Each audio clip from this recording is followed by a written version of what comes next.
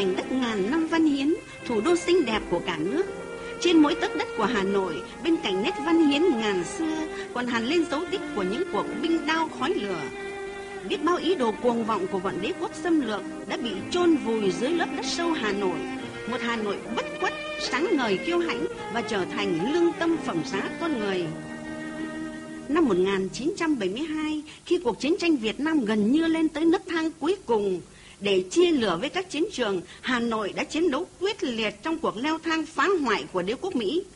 Sau một thời gian tự ý hủy bỏ, không thể kéo dài thêm, Nhà Trắng lúc đó phải buộc trở lại bàn đàm phán Paris. Nhưng phía sau bàn đàm phán, Tổng thống Mỹ Nixon vẫn ấp ủ một chiến thắng bằng bom đạn. Vì thế, ngày 16 tháng 12 năm 1972, khi phái đoàn đàm phán ta vừa đặt chân về tới sân bay Gia Lâm, cũng là lúc Nixon gửi cho Hà Nội một bức công hàm, thực chất là một tối hậu thư, đòi chúng ta phải chấp nhận một bản hiệp định có lợi nhất cho phía Mỹ. Đi sau tối hậu thư đó, Bộ Chỉ huy quân sự Mỹ đã chuẩn bị cho một cuộc tập kích chiến lược bằng máy bay B-52 vào Hà Nội. B-52 là gì? Đó là một trong bộ ba vũ khí chiến lược của Mỹ, gồm tên lửa hạt nhân, tàu ngầm nguyên tử và siêu pháo đài bay B-52.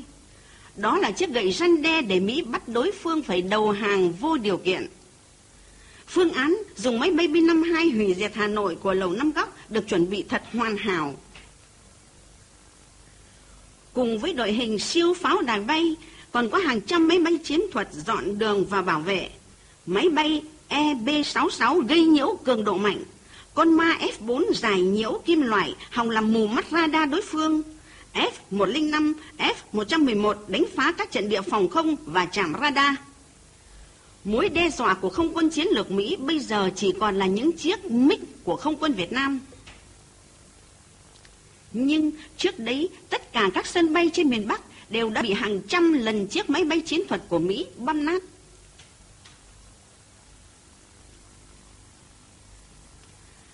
Với một phương án như vậy, những người cầm đầu quân sự Mỹ bảo đảm với các phi công B-52 của họ rằng bay vào Hà Nội chỉ như một cuộc dạo chơi trong đêm phương Đông.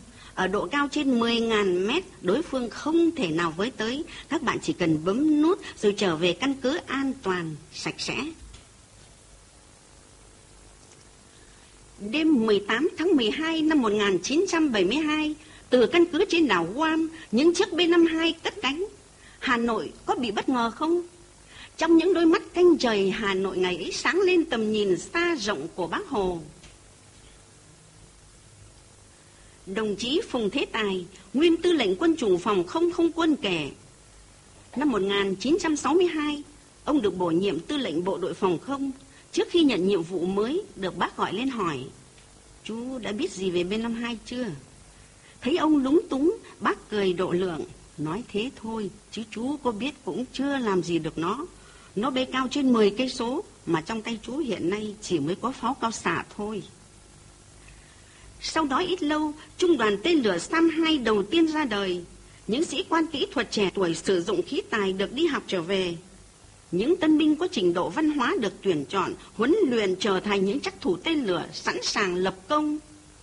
Ngày 18 tháng 9 năm 1967, trong một buổi làm việc với đồng chí tư lệnh quân chủng phòng không không quân, bác lại nhắc, sớm muộn rồi đế quốc Mỹ cũng sẽ đưa B-52 ra đánh Hà Nội, rồi có thua, nó mới chịu thua. Chú nhớ là trước khi thua ở Triều Tiên, Mỹ đã hủy diệt Bình Nhưỡng.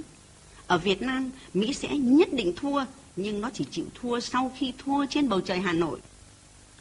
Thực hiện quyết tâm đánh thắng B-52 Mỹ của bác, nhiều đơn vị radar đã vượt bom đạn đưa khí tài vào tận phía nam khu 4 cũ để tìm hiểu nhận diện siêu pháo đài bay Mỹ. Đối với các chắc thủ radar, việc nhận rõ mục tiêu trong nhiễu xạ là một bài toán cực kỳ hóc búa. Trên vùng đất cách xa Hà Nội 400 cây số, mồ hôi trộn máu các anh đã đổ xuống. Ngày 17 tháng 12, một ngày trước khi Nhà Trắng thực hiện ý đồ tội lỗi, nhân dân trong những vùng sẽ bị ném bom hủy diệt được lệnh sơ tán triệt để. 19 giờ 15 phút ngày 18 tháng 12, trên một ngọn đồi thuộc đất Quảng Bình, kiếp chất thủ đài radar U-35 do Nghiêm Đình Tích làm đại trưởng, chỉ sau 3 phút mở máy đã thu được tín hiệu nhiễu. Và sau đó, cả tốp gần 70 chiếc B-52 đã nằm gọn trong cánh sóng radar của các anh. Sự phát hiện chính xác B-52 Mỹ định lẻn vào đánh phá Hà Nội của kiếp chắc thủ radar đã tạo thế chủ động cho lực lượng phòng không thủ đô truyền cấp chiến đấu sớm 35 phút. Hà Nội đã được báo động từ xa, chiếm lĩnh các vị trí thuận lợi, ung dung bước vào cuộc đọ sức, không chỉ riêng các chiến sĩ mà có cả những người dân lao động bình thường. Ai cũng hiểu rằng họ có thể hy sinh, nhưng máu của họ sẽ làm xanh mãi bầu trời thành phố.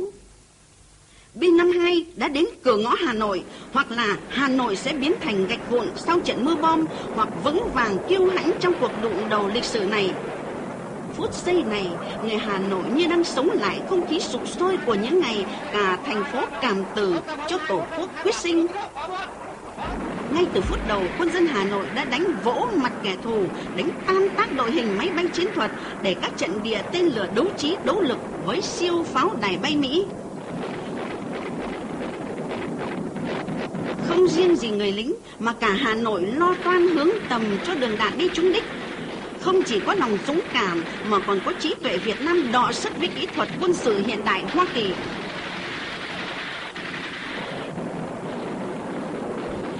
đánh bom khu vực Đông Anh và những chân hàng dài hàng cây số. Trận địa tiểu đoàn 59 tên lửa đặt dưới chân thành loa bị bom cày tới. Đất đá mù mịt nhưng cả kiếp chắc thủ vẫn không rời mục tiêu. Hai quả đạn được phóng đi, một quần lửa bùng lên soi sáng cả bầu trời Hà Nội. Xác chiếc B-52 đầu tiên trở thành những mảnh vỡ rơi xuống cánh đồng xã Đồng Xuân, huyện Đa Phúc. Thomas Jimson một trong những phi công của chiếc B-52 ấy kể lại, vừa đến vùng trời Hà Nội, máy bay của tôi đã bị tên lửa Sam bắn cháy. Lạy Chúa, tất cả chỉ diễn ra trong vòng 15 phút. Cái ớn lạnh của viên phi công đã làm dùng mình Bộ Chỉ huy quân sự Mỹ. Chiến thắng của tiểu đoàn 59 đã cổ vũ các đơn vị lập công. Chỉ vài tiếng đồng hồ sau, trận địa tên lửa bên phà chèm lại bắn rơi tại chỗ một B-52 khác. Phối hợp với các đơn vị tên lửa, các trận địa pháo cao xạ của bộ đội và tự vệ Hà Nội cũng nhịp nhàng nổ súng. Bốn máy bay chiến thuật bị bắn rơi, trong đó có một máy bay F-111, loại tối tân hiện đại nhất của không quân Mỹ. Bằng bom đạn kẻ địch muốn đưa Hà Nội trở về thời kỳ đồ đá. Bệnh viện Bạch Mai bị tàn phá nặng nề, những khu dân cư như Khâm Thiên, An Dương bị bom rải thảm, nhưng trong khói lửa chiến tranh, sự sống vẫn không ngừng sinh sôi nảy nở. Trong mất mát đau thương, người Hà Nội càng lạc quan vững vàng. Có lẽ vì vậy mà Kurt Stelcher, nhà nghiên cứu lịch sử người Đức đã viết, sau 8 năm nghiên cứu lịch sử Việt Nam, nếu như có người nào đó hỏi tôi đặc điểm bao trùm quá khứ của dân tộc này là gì? Câu trả lời của tôi sẽ là chiến tranh và sự nên thơ liều lĩnh đem bom B-52 đánh vào thủ đô Hà Nội, kẻ cầm đầu nước Mỹ đã đụng tới nơi thiêng liêng nhất của mọi người dân Việt Nam. Khắp miền Nam nổ ra những trận đánh trả thù cho thủ đô Hà Nội, sân bay, kho tàng, căn cứ địch liên tiếp bị tấn công. Trong những ngày chiến đấu quyết liệt này, ai nấy càng khắc sâu câu nói của bác Hồ. Hà Nội, Hải Phòng và một số thành phố xí nghiệp có thể bị tàn phá Song nhân dân Việt Nam quyết không sợ, không có gì quý hơn độc lập tự do. Đêm 20 dạng ngày 21 tháng 12, quân dân thủ đô đã đánh một trận xuất sắc, bắn rơi 70 máy bay, có 5 chiếc rơi tại chỗ, bắt sống nhiều giặc lái. Đây là trận đánh tiêu diệt lớn, mang ý nghĩa một trận đánh then chốt trong chiến dịch phòng không, góp phần quan trọng đẩy mạnh quá trình thất bại của Mỹ ngày 26 tháng 12, trong số 8 máy bay bị bắn rơi, có 4 chiếc rơi tại chỗ. Phối hợp với các đơn vị tên lửa, các chiến sĩ không quân ta đã xuất kích giành chiến thắng. Có người đã anh dũng dâng hiến tuổi thanh xuân, trở thành ngôi sao sáng mãi giữa bầu trời Hà Nội.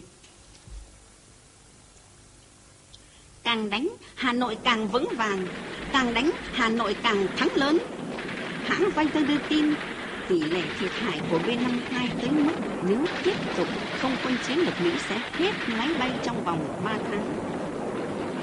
cuộc tập kích chiến lược quy mô lớn bằng B-52 của Mỹ với ý đồ san bằng Hà Nội trong 3-4 tuần lễ, gây sức ép bắt chúng ta phải đầu hàng, đã phải sớm kết thúc. Và kết quả kẻ bị sức ép lại là Nixon. Đó là sức ép từ Việt Nam, Hà Nội, từ những quả tên lửa phóng lên từ trong lòng nước Mỹ và khắp thế giới thực hiện trên 500 đợt B-52 dài hơn 40 vạn tấn bom và hàng ngàn phi vụ đánh phá khác vào Hà Nội. Người cầm đầu nước Mỹ phải nhận lấy kết cục chua xót. 81 máy bay hiện đại bị bắn tan xác. Trong đó có 34 máy bay B-52, 5 máy bay F-111. Hàng trăm phi công bị bắt sống và bị tiêu diệt. Chiến dịch 12 ngày đêm trở thành một điện biên phủ trên không. Nhà Trắng buộc phải ngậm bồ hòn trở lại bàn đàm phán Paris, ký vào bản hiệp định chấm dứt chiến tranh để rồi sau đó cuốn cờ rút khỏi Việt Nam. John Kerry, nhà bình luận quân sự Mỹ đã phải thốt lên những chữ ký của phía Mỹ có vẻ ngập ngừng vì sự bàng hoàng không thể giải thích nổi bởi những chiếc B-52 rơi trên bầu trời Hà Nội. Hà Nội đã chiến thắng Hà Nội đã cùng quân dân miền Bắc đập tan ảo tưởng đàm phán trên thế mạnh của Mỹ, đẩy chúng vào con đường thất bại hoàn toàn. Xin hiểu rõ cái giá mà người Hà Nội đã vượt qua để chiến thắng cuộc tập kích chiến lược bằng B-52 của Mỹ. Vầng sáng chiến thắng ấy mãi mãi là niềm tự hào của người Hà Nội. Ngọn bút tả thanh thiên của đất ngàn năm văn hiến lại ghi thêm một chiến công nữa của người Hà Nội trong 12 ngày đêm tháng 12 năm 1972 lên bầu trời xanh thăng long lịch sử.